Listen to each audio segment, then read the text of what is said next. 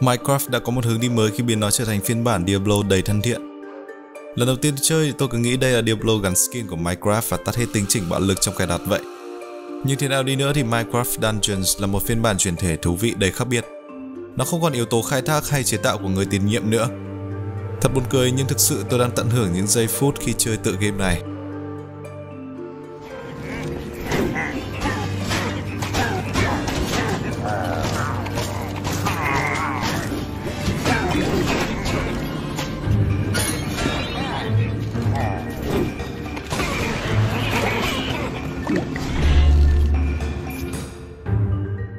Mojang Studios có lẽ đã đoán đúng khi biết trẻ con sẽ thích những yếu tố kinh điển của Diablo như thu thập vật phẩm, thám hiểm hang động và tất cả những gì họ cần làm là gộp chúng lại và không chứa bất kỳ yếu tố bạo lực như của Blizzard. Và từ đó, thế giới của Minecraft Dungeons trở nên sáng bóng và lung linh một cách đầy ấn tượng. Tôi khó tin khi phong cách đồ họa của Minecraft vốn low res và khô khan lại có thể đẹp đến thế trong tựa game này. Unreal Engine 4 thực sự đã làm tốt công việc của nó và không nói quá khi đây là tựa game Minecraft có nền đồ họa đẹp nhất trong đại gia đình của Minecraft. Man, tôi thích màn đồng cỏ bí ngô. Tôi nói với các bạn tôi thích màu nóng chứ nhỉ? Khi chơi màn này với tông màu vàng cam của chiều thu và lại ở trên cánh đồng đậm chất châu Âu, cảm giác fantasy lại ùa về và làm tôi thích thú thực sự. Nó thực sự đáng yêu. Còn âm nhạc thì sao? Quá tuyệt vời. Tôi biết đây không phải C418, nhưng người làm âm nhạc cho Minecraft Dungeons xứng đáng nhận được một tràng vỗ tay. Âm nhạc của tựa game này vẫn tôn trọng phong cách của C418, nhưng nó vẫn có cách để tạo ra ấn tượng khác biệt, đặc biệt là trong những giây phút bình yên khi bạn đang ở khu trại nhưng giai điệu trầm lắng và có phần ủ rũ khiến cho người chơi thực sự hòa mình vào bầu không khí của tựa game này. Về câu chuyện thì nó rất là đơn giản. Nhân vật phản diện chính là Arch Ilager độc ác. Người tìm thấy một cổ vật mạnh mẽ có tên là quả cầu thống trị và rồi tìm cách trả thù những kẻ đã từng xa lánh hắn ta. Arch Ilager đã tập hợp một đội quân kẻ thù Minecraft quen thuộc để bá chủ thế giới. Và việc của bạn là ngăn chặn hắn. À, một tip này khá là quen thuộc nhỉ? Well, với Minecraft thì bạn xác định không nên mong đợi câu chuyện làm chi.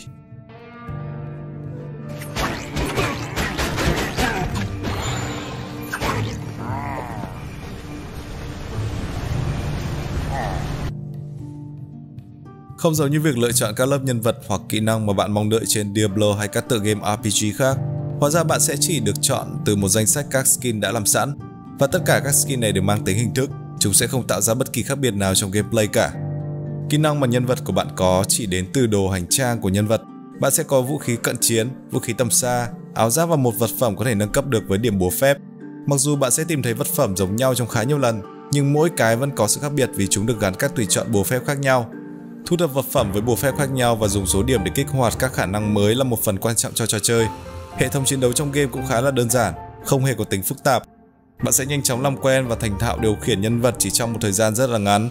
Trò chơi cũng có một hệ thống tùy chỉnh độ khó riêng cho từng màn chơi, vì thế bạn có thể hoàn toàn chủ động trong việc lựa chọn độ khó thích hợp với mình.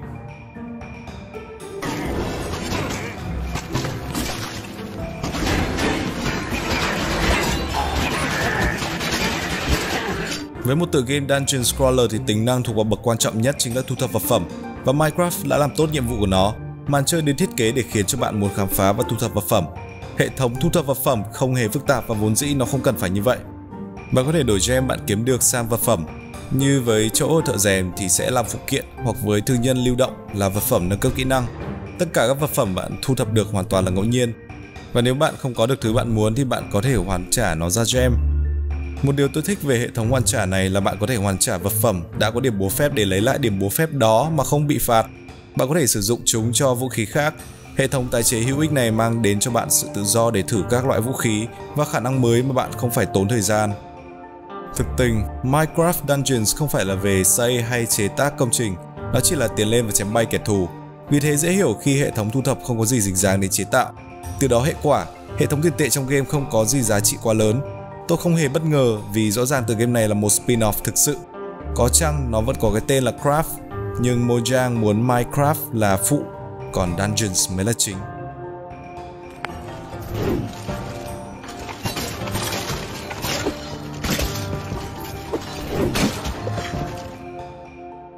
Minecraft Dungeons là màn giới thiệu ấn tượng đối với những người chơi mới bắt đầu thử thể loại thám hiểm hang động.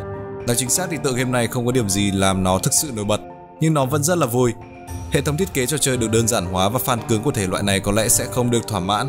Nhưng Mojang đã chọn một con đường mới và không gì sai khi Minecraft đi theo hướng đi này.